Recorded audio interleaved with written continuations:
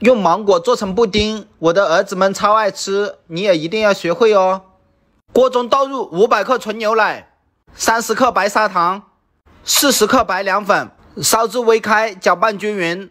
放上孩子们爱吃的芒果倒入模具中放凉就凝固了脱模后切成小块奶香味十足还有水果的营养赶紧试试吧。学会了别忘了点个双击再走哦感谢您了。